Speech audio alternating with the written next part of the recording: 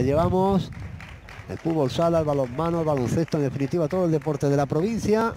Ha salido